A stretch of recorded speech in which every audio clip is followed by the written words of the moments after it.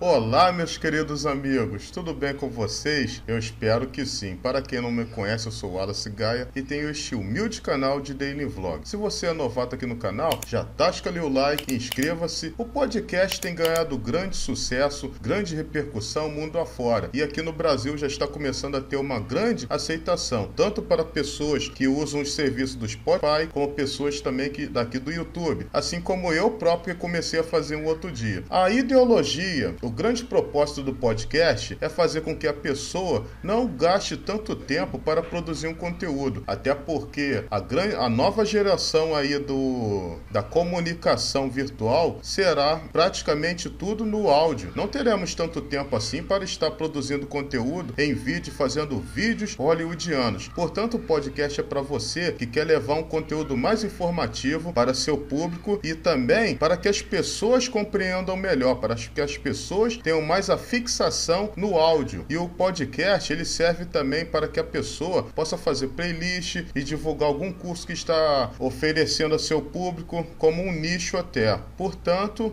é muito viável você criar um podcast no seu canal. Se você tem um canal informativo, um canal aí de dicas, um canal de curiosidades, é muito bom você criar um podcast hoje ainda. Espero que esse artigo tenha sido mega útil e se foi, você já sabe, inscreva-se no canal para assistir a outros vídeos desta mesma natureza. Valeu!